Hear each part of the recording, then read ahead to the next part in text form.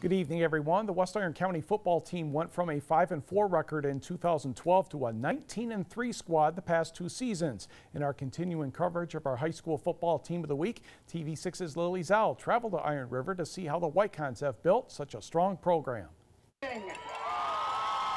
Wykons' success this season was no surprise for the blue and white. Nobody thought we were going to do as quite as good as we did, but we showed everyone that we had it in us and we played as a team this year.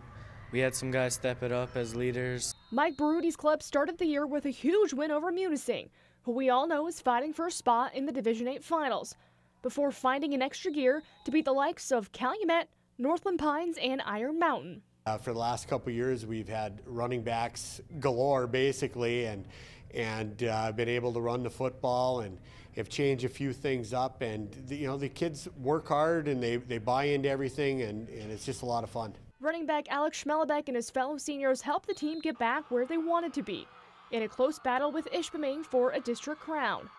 Well, we definitely came out as hard as we could. We that was our best practice of the year, I think. We came out, we did what we needed to do.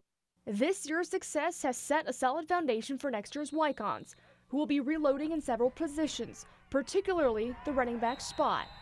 You know, we have uh, a couple young backs that were juniors that uh, didn't get to play a whole lot, and I have uh, a sophomore and a freshman that'll be up with us next year that uh, are going to be able to fill the void.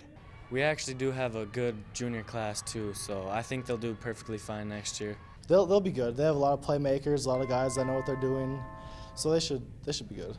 You can bet West Iron County will be primed and ready for a knockout season next year. Lily Zhao, TV6 Sports, Iron River.